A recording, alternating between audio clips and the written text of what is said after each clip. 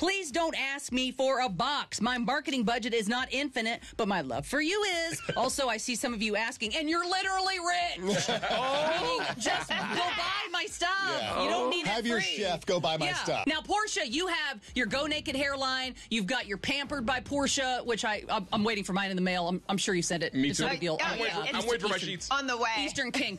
Um, do people reach out for you a lot, Porsha, for freebies?